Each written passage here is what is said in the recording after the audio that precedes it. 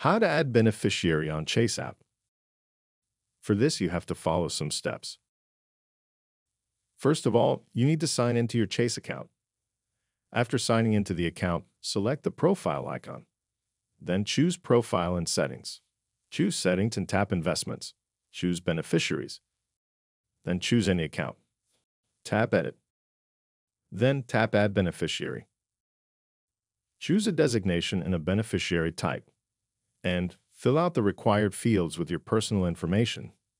Then tap Save and Continue. Confirm the beneficiary address format and tap Save.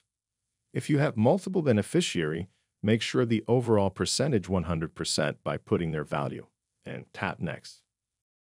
Tap Next if everything looks good. Read the agreements.